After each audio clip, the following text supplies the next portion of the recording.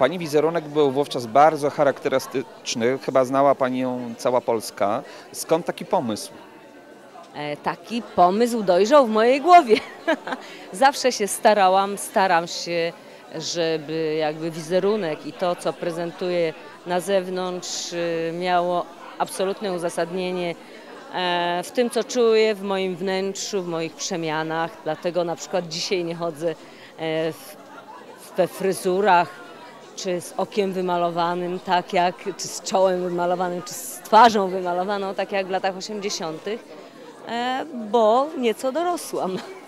To ja bym powiedział, że to był nawet trochę taki wizerunek punkowy, prawda? Ja myślę, że tak był oceniany. Y, Ja, y, ja nie miałam nigdy w życiu nic wspólnego z punkiem. Oprócz tego wizerunku, który w jakiś sposób był bliski, ale punk to nie tylko wizerunek, punk to jest filozofia, z którą ja nie miałam nic wspólnego.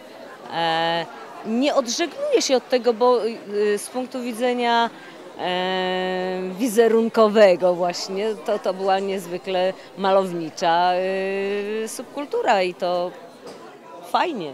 Pani wizerunek był inspiracją dla bardzo wielu osób, ale na pewno władzom perolowskim się nie podobał.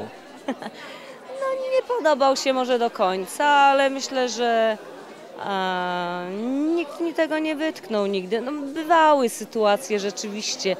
E, pamiętam sytuację, kiedy e, było zapotrzebowanie na zespół Lombard y, z Rosji, e, ale Lombard najlepiej bez Ostrowskiej, ponieważ Ostrowska miała zły wizerunek i wówczas pierwszy raz w życiu widziałam Lombard z zewnątrz, z widowni, ale nie przebiło się to, czyli po prostu nie było jednak takiej siły jak y, z tym wizerunkiem. I koniec końców pojechaliśmy tam wszyscy razem.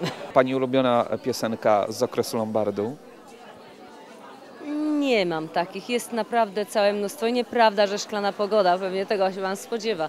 Ja doceniam rolę szklanej pogody. Wielu e, artystów pewnie chciałoby mieć taką szklaną pogodę w repertuarze, piosenkę, która by było, z którą by się identyfikowało wykonawcę, ale e, jest w Lombardzie było całe mnóstwo pięknych piosenek, nie zawsze tak nośnych e, muzycznie, czy nie zawsze z piosenką, która zostaje na lata, trzeba mieć po prostu szczęście. Musi się wstrzelić, oprócz wartości, które musi mieć w sobie, musi się wstrzelić we właściwy moment. Szklana pogoda e, tak się wstrzeliła, a było całe mnóstwo innych pięknych piosenek.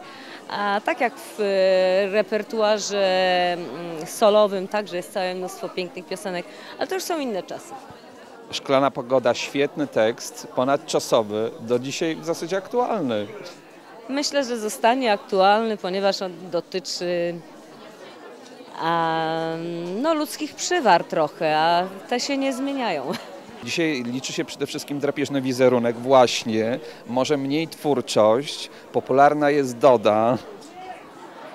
No, takie są czasy, że bardzo często wizerunek jest ważniejszy od jakby dokonań. Mało tego, e, znani ogólnie są celebryci, którzy praktycznie nie poza y, wizerunkiem niczego więcej nie reprezentują, ale no, na szczęście nie jest to jedyna e, jedyna opcja, jedyny kierunek rozwoju, zmian, które zachodzą.